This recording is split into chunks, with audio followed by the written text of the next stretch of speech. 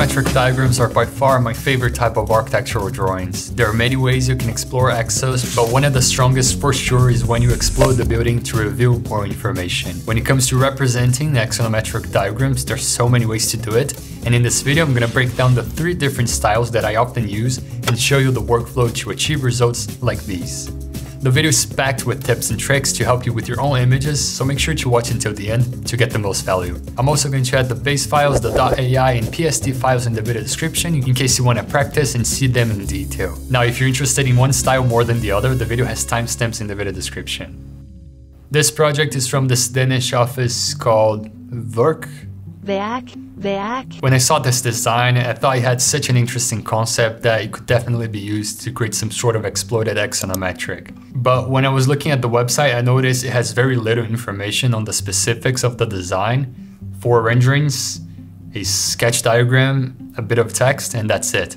I'll also leave this link in the video description if you want to know more about the project. So to create this diagram, I first needed a 3D model, and for that, I need a quick plan. From experience, a base drawing makes the modeling part much faster. And the goal with this 3D model is not really trying to replicate the building perfectly, but rather get a sense of the scale and overall proportions. And that's where the sponsor of this video comes in, Rayon. For this quick plan draft, I could hop into ArchiCAD, which is my preferred BIM software, to quickly do it. But then it's a far more complex and complete of a program for what I really need. You see, learning how to draft architectural drawings is a vital skill that is developed regardless of the software. Once you learn it, you can switch to another program depending on the need. Now Rayon is faster than CAD and it's got some BIM features. What makes this even more versatile is that it's web-based, which initially I thought you could limit the features, but that isn't the case at all. It's got all the compatibility you need. You can import DXF, DWGs, PDFs, draft it all up, and then even export in these formats and more to share the final file or continue working on another program. It has a built-in block library with over 2000 blocks ready to drag and drop on the floor plan. And if you follow this channel for some time, you know that I'm all about using Photoshop and Illustrator or other creative software to represent your drawings and images, to really input your identity into it. But we all know that time is a major factor in a workflow like this, and sometimes you need a quicker solution. And Rayon has this part figured out, you can draw and stylize a plan in a single place.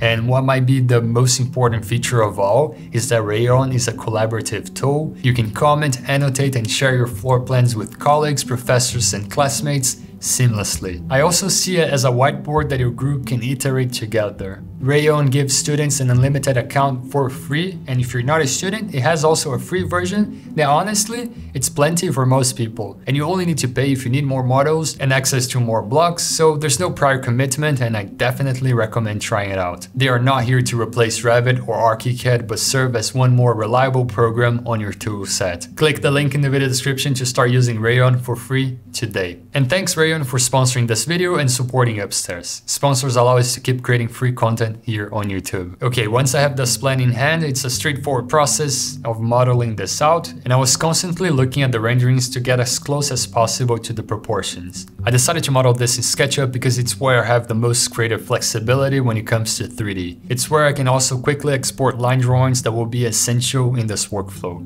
But you can totally use another program, Rhino or even a BIM software if that makes sense for you. The important part that you need to export PDFs from this to then open in Adobe Illustrator. There are many other tutorials here on YouTube that I created teaching in detail how to export PDFs for this workflow. I'll leave them in the video description if you need some extra help. Now make sure to create a scene. This is a vital step for this image since we're doing an exploded diagram. And I'm using here parallel projection. In other programs can also be called as orthographic view. This just takes the perspective out of the image and honestly is the best way to create axonometric diagrams. And I like to use the isometric view, which is one type of the axonometric projection, because it's then quite easy to add text, textures and objects later in Photoshop or Illustrator to fit this view. Once you have the PDF exported, open it up in Adobe Illustrator and let's start working on the lines. Notice how I actually didn't explode my model on SketchUp. I just used the section tool to generate two separate files so that we can import them separately on Illustrator and decide how much spacing we want between the bottom and top parts. Okay, so this first style is all about having an organized file with a good line hierarchy in place. It takes a bit of time, not gonna lie, but it's such a vital process that once you have this done, the image is pretty much ready. And as you can see, I'm organizing this file using the selection and same function. Since each type of object in the 3D has the same fill color, I can use that as a selection filter and move it to a new layer. Also, I like to delete all of the line strokes. We can work only with the fills and add the strokes to every shape later. Now, could you skip Illustrator and go directly to Photoshop? Yes. Yes, you could, but then you wouldn't have all the control over the line weights. But if you're running short on time, that's totally acceptable. I repeat this selection process over and over until everything is sorted out and then you can select everything and hit D to reset the appearance to default, white fills and black lines. From here you can select the layer's content and increase or decrease the line weight as needed. As you can see, I exported this baseline file with the default screen format, but then I used the artboard tool to convert this to a vertical format. And I always find it best to keep both an exact number, so try to find some sort of reason for the exact aspect ratio. For example, I'm doing a third of a 16 by 9. And then I'm going to move the top part up and I'm going to be exact here. This is just that if later I want to move something else up so we can match the position exactly. Okay, with the base ready, now we can start thinking about styling. But it's not here in Illustrator that we're gonna add color, and you will see why in just a moment. I'm aiming for the classic blue line colored drawing, but I'm not too certain about the exact color hue yet. So to work smarter, let's just add values to the fills first, which will affect the final result just as we need. The key here is to create a range of grays. I'll just avoid pure blacks to surface fills and leave that to the cut elements and lines. It's an easy move since all of the layers are organized. Just select the entire layer by clicking here and add the fill you need. You don't have to be definitive with the value choice, just add a variety of values. You can always come back to refine if needed. And I prefer to work with the color tab to move a lot faster.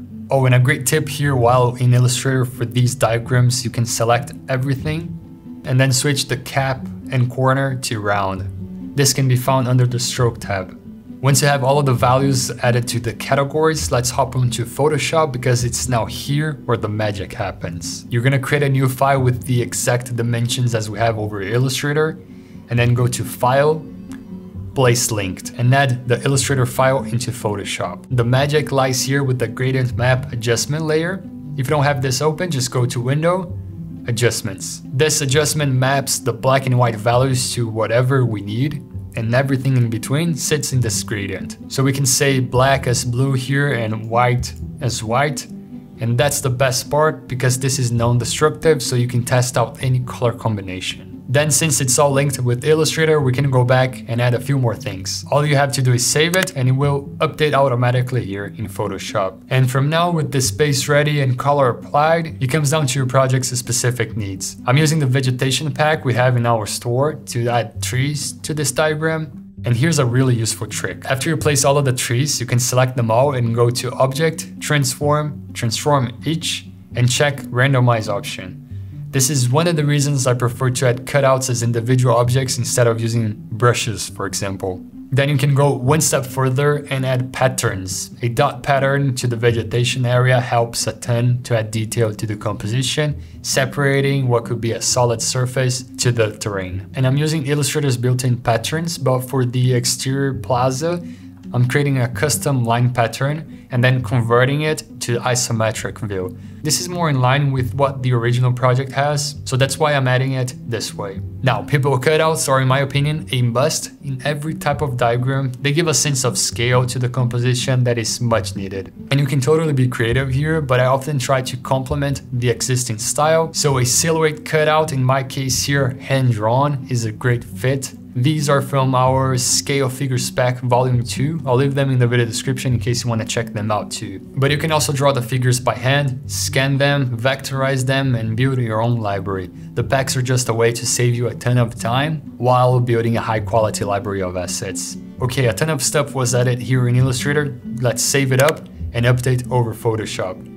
It's looking really good so far. Remember that adjustment layers are your friend here, and we can use, for example, a levels adjustment to play with the values we have already set. Great. Now there's one last step with this that can take this diagram to a whole nother level, but I'll show you at the end of the video because it's a step that can be applied to any style, any diagram. And if you're finding this workflow to be too complex and the video too fast paced, remember that we have already a few tutorials on this specific topic here on YouTube that you can watch to learn more. And we also have a premium course that takes you step by step in detail, really teaching you how to work with any type of isometric diagram. I'll leave a link in the video description if you're interested. Okay, so that was the most demanding style of them all. This next one, I find it way quicker to create. It's texture style, collage style, post-digital. I've heard being called many names. And for this type of result, you don't necessarily need to start from a baseline file from Illustrator. All you need is an image that is colored by category. I use this base Illustrator file that I had saved up as a backup before converting to the black and white line drawing that, that you saw, but it could certainly be exported from a 3D as an image. For example, SketchUp has this option to color by layer or by tag as they call it. So this can all be adaptable. All you're looking is for a layer to help you make selections with the magic wand. And then I prefer to work in Photoshop when dealing with textures. It's just much easier to tweak them if needed with adjustment layers in a non-destructive way.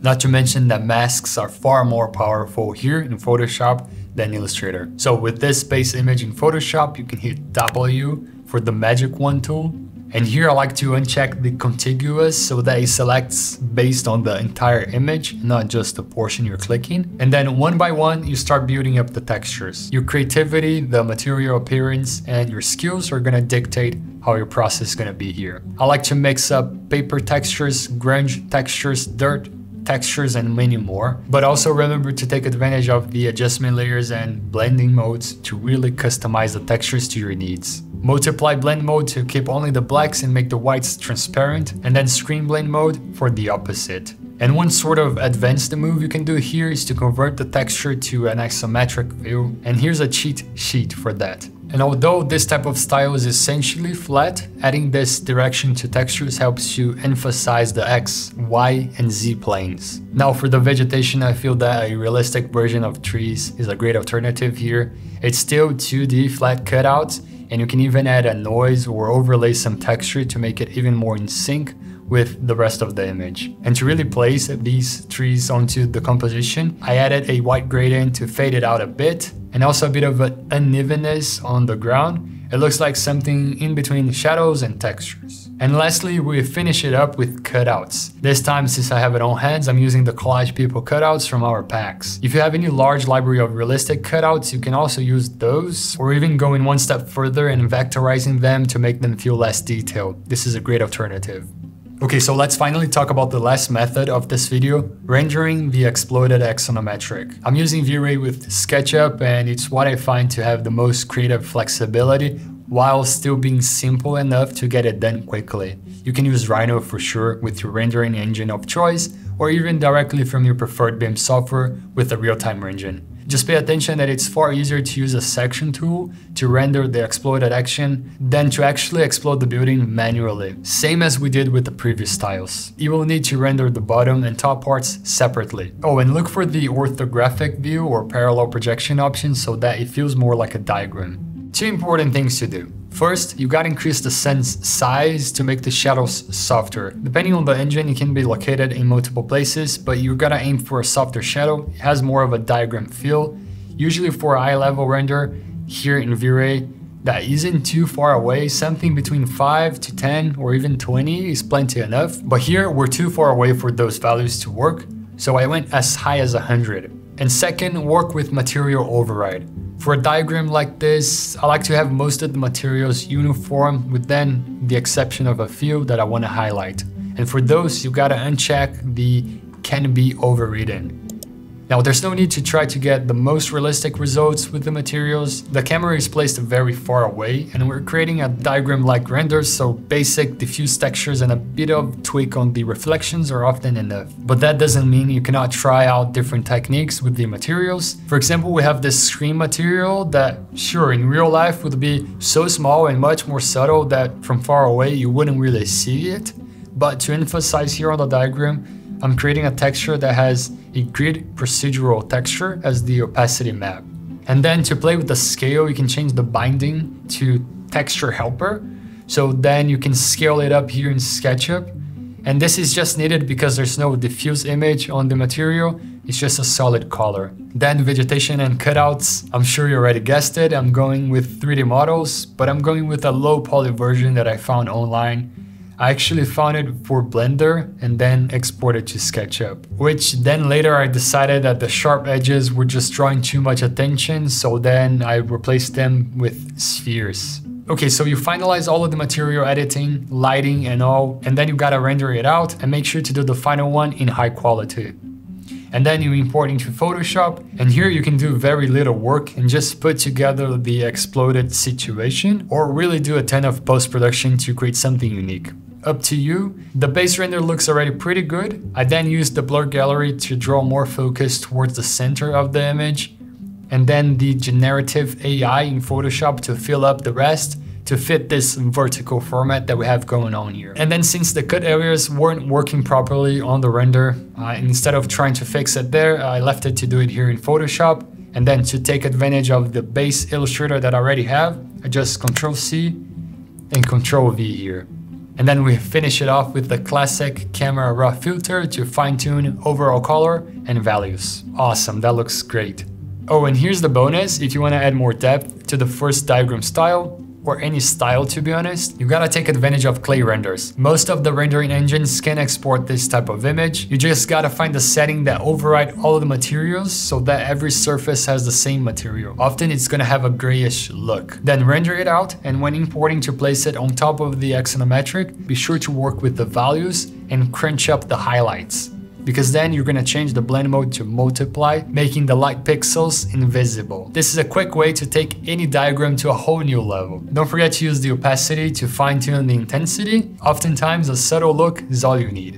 And here I'm placing the shadows below the gradient map so that it also gets colored along with everything else. Okay, so that wraps up the three styles. I hope you got some value out of this breakdown. I know it was long and packed with a ton of information, but feel free to drop a question below and I'll do my best to reply to all. Make sure to subscribe to the channel if you like this type of content and click here to continue learning about diagrams.